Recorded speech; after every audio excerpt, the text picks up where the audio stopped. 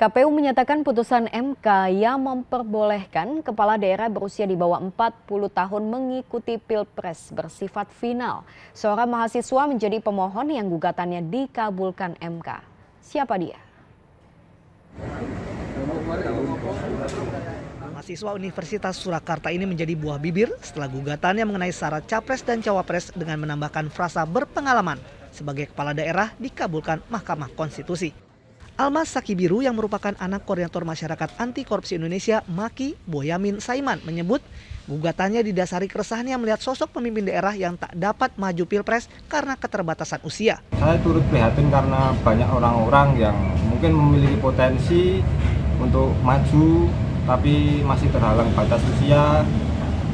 Jadi pokok dari gugatan tersebut adalah Eh, memberikan jalan alternatif berupa pengecualian atau yang berpengalaman telah menjadi uh, kepala daerah. Terkait putusan MK, KPU menyatakan bersifat final dan berlaku mulai Pilpres 2024 bahwa berdasarkan penjelasan pasal 10 ayat 1 Undang-Undang Nomor 8 Tahun 2011 tentang perubahan atas Undang-Undang Nomor 24 Tahun 2003 tentang Mahkamah Konstitusi, putusan Mahkamah Konstitusi bersifat final, yakni putusan Mahkamah Konstitusi langsung memperoleh kekuatan hukum tetap sejak diucapkan dan tidak ada upaya hukum yang dapat ditempuh.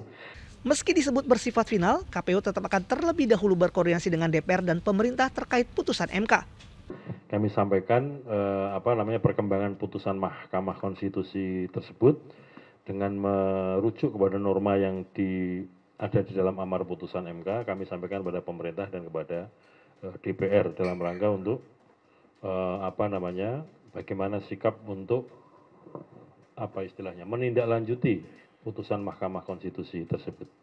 Putusan MK membuka peluang kepala daerah muda seperti Wali Kota Solo Gibran Raka Buming Raka mengikuti Pilpres 2024 mendatang.